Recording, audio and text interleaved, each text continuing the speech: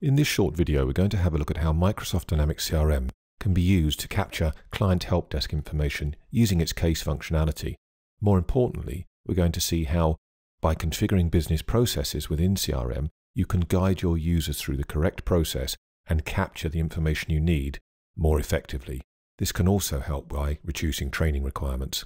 In this example, we're going to assume the role of a customer services representative and use the quick create function in order to create a new case. And we will simply enter the customer name and the title or the nature of their inquiry.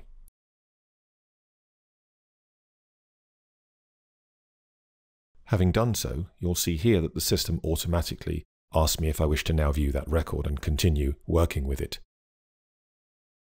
Once I've loaded that record, I can then start to use the business process bar at the top here to guide me through the correct process to effectively deal with this problem. So in this case, we've configured a very simple business process. First of all, we verify the customer is active with a support contract. Secondly, we capture the details of the actual request. Thirdly, we track the progress of this request. And finally, we resolve it. So let's start working through this problem that our client has registered with us about their printer. If we look at the first stage here, the first thing that we need to do is to verify the information, and that in this example means that we've confirmed that they actually have a support contract with us and we can process this issue. We can then move on to the next stage of our pre-configured and example business process, which captures details about the actual problem itself. So first of all, we need to identify what type of case this is. Is it a complaint? Is it a problem? Note that if I chose complaint, that a different set of screens would be provided by the system to the user. But we're actually recording a problem, and again, the screen changes the type of information that we need to capture automatically. This is very useful and reduces things like training time required to get your people up to speed on capturing case information. We can add a subject to this. Again, this is a a definable list. And we can then move on to entering additional information such as the product. I will choose my all-in-one printer as an example and enter a serial number. I can also identify the case origin. Did it come in by phone, email or web? We'll assume that this came in as a telephone call and we can add a brief description.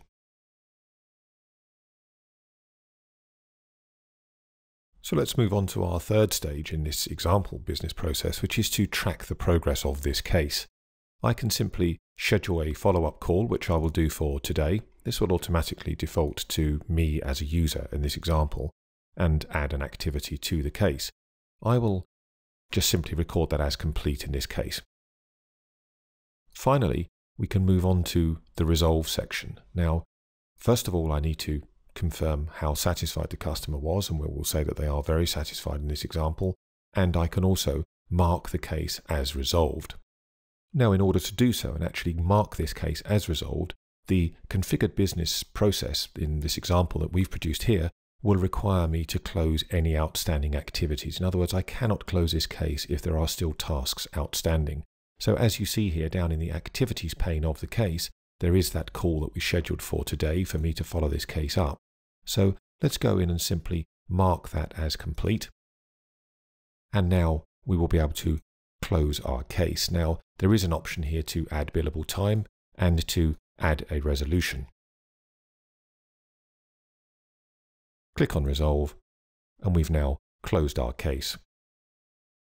Now, before we navigate away from this case, it's worth just pointing out that by following that guided business process, we've captured all the information we need about the actual case. So over here, we captured the title, we created a subject, we identified the customer, that it was a problem, that this inquiry came in via phone, that there was a follow-up action, that those activities have been completed, a description of the problem, and so forth. And of course, all of that is also recorded where there's an activity involved in the activity pane, as you would expect. So rather than people jumping around all over the place and perhaps missing information, by guiding them through the process, you guarantee capturing all the information you need.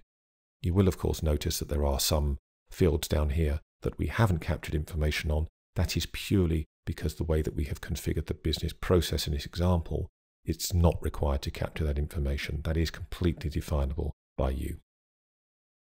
And finally, it's worth pointing out, of course, that as well as dealing with those cases very effectively on an individual basis, all of this data is, of course, updating the customer service representative dashboard, as an example, with all of that data as well. So if I look at this graph here that gives me cases by priority per day, I can see that a case has in fact been created today, as we know, and by looking at the data that created that graph, drilling down to just today's date, I can of course see that problem with the printer has been recorded effectively. So to conclude, Dynamic CRM gives us superb functionality to capture case details, but more importantly to guide individual agents through the correct business process to ensure that information is gathered as it should and cases are concluded to the customer's satisfaction.